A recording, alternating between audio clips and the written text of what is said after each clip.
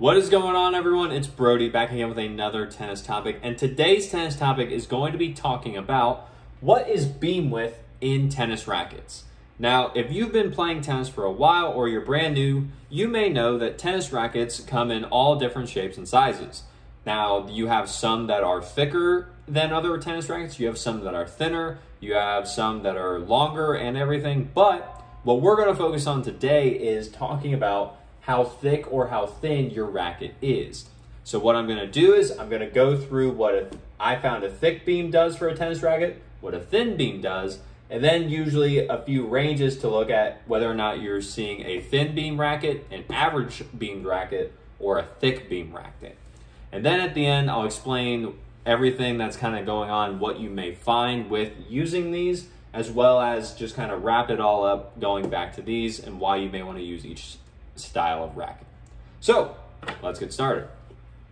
So the first thing up here with thicker beams is that they are, of course, they're going to be a lot bigger. So the few things that I've noticed and I have found with thicker beams is that they have more power. And I wrote the R too early. More power. And they are stiffer.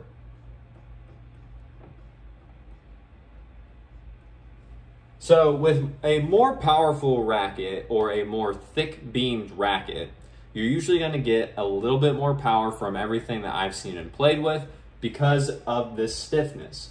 The thicker the actual racket is on the side, usually the better it is at just, I'll say, reflecting the power that is coming back at you that your opponent has hit to you.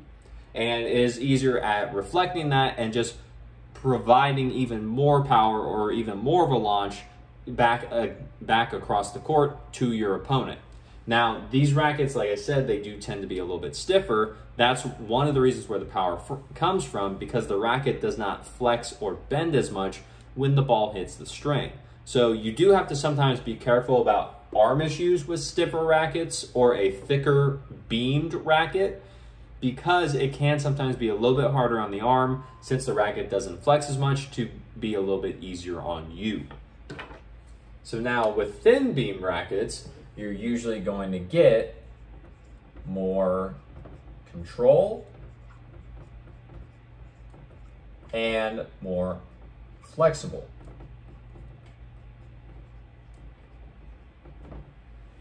Now, with a more control-oriented racket, you do start to become a little bit more limited in your options with thin-beamed rackets. They don't usually make them, from what I've seen, as as general as they do the thick beam ones. You can usually find a lot of different variations of thick beamed rackets in almost every single brand. But most of the times you're usually going to find that the thin beam rackets tend to be a little bit heavier, tend to be a little bit, I'll say, smaller head size, and and that's because they're designed to help give you more control. The smaller head size, as well as partnered with a thin beam, allows for everything to just be a little bit more helpful in giving you the control that you need. Whereas if you can generate your own power, that's where these tend to do very well, as well as being easy on your arm because they are flexible. If you are curious about your racket's stiffness rating, then I would say you could probably check that just as a rough guess on a few on a few most likely just go to the website that your racket is made from. So if you have a Babolat racket, use a Babolat use Babolat's website, or if you have a Solinco racket, use a Solinco use Solinco's website to see if they have the stiffness ratings on there, and that way you can see if your racket is going to be a little bit harder on the arm or if it's a little bit thinner on the arm, as well as to see the differences in the thicker and thick and thin beams that are present now. Stiffness is not the topic of this video. That's a completely whole different thing. So we're just going to move right along and go into the three ranges for beam width. Now, these are what I have seen over working with tennis equipment for the past seven plus years. These tend to be usually more so, not the not necessarily that every single racket has to fall into this category, but just the majority that I've seen tend to fall into this. And so this is all measured in millimeters rather than anything else. That's just the, I believe it's the accepted metric for everything. And so that's where with the thin ones, you have an 18 to 21 millimeter beam. So that's usually on the thinnest side. You're think, thinking of like your maybe some of your head prestiges, maybe even your Wilson blades and other control oriented rackets like that. Then here in the average, you have about a 22 to 24 millimeter beam.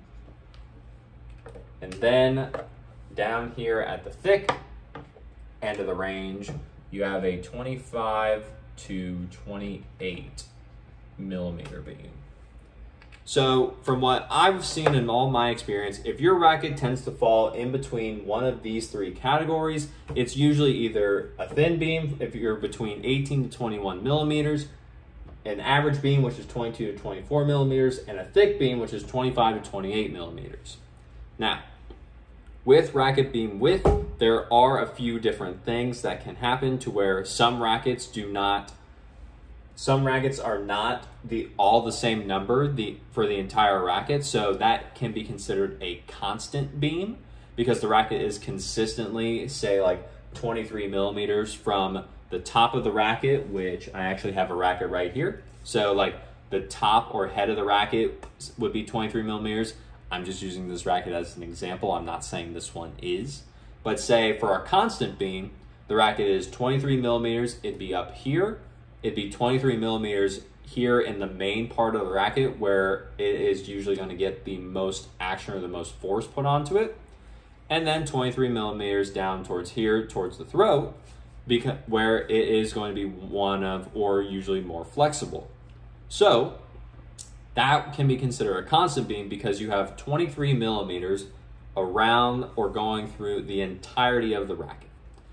Then you do have some other types of rackets that are called or known as tapered beams to where you could have three different numbers up here. So like a different measurement for up here in the head, a different measurement for the thickness here in the middle, and a different measurement for here in the throat, depending on what the manufacturer was trying to accomplish with the racket.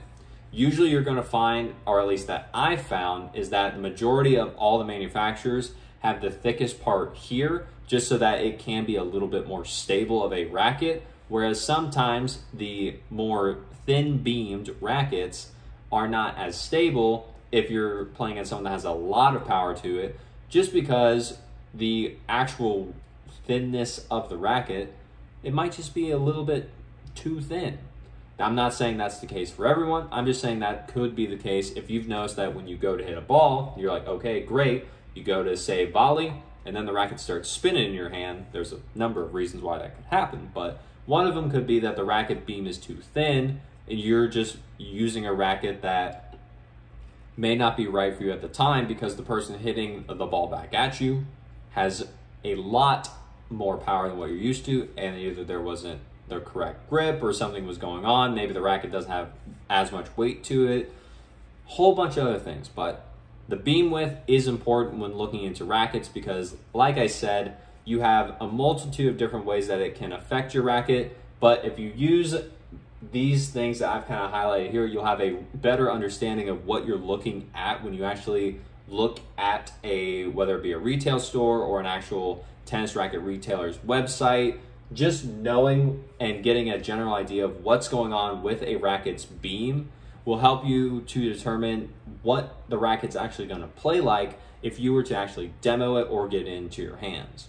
Now, I can talk numbers here with you all day, but if you are wanting to actually just see what I'm talking about and put it to the test, then always be sure to demo a racket before you buy it just so that way you have the ability to play with it. Make sure it's the stiffness isn't going to hurt you. You like the beam width of the racket, whether it's a little, whether it's a thinner, more average style, or a thicker beam. And that way it plays well with your game rather than trying to find something that is going to just be completely different, potentially hurt your arm because you're not used to it, or the stiffness is different since it's a thicker beam, or you're not used to how the racket plays because it's a thinner beam, and then you have to adjust everything when you could have potentially just demoed the racket and then avoided all the problems because you're like, oh, this racket sucks, or oh, this racket's great.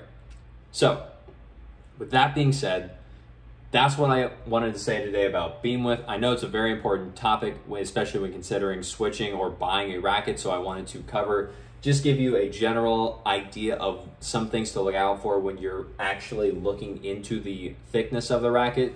Some people will obsess about it. Some people will be like, oh, I didn't know this was a thing. So that's where some I just wanted to make this so that you had a, a more general idea or just a better idea of what to look at and what you're looking at when you're actually looking at potentially switching rackets or even buying your first one. Either or.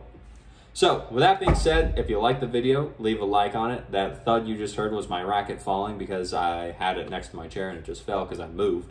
But if you like the video, leave a like on it. Comment down below any more questions that you may have about beam thickness or anything else. I'll try to get back to them as soon as I can. And subscribe to the channel so that we can grow the channel, get the information out there from the people that have it to the people that need it, because there's a lot of tennis misinformation in the tennis community. So I took it upon myself to make this channel so that we can get rid of that and get the information out there from the people that have it to the people that need it. So, with that being said, as always, take care.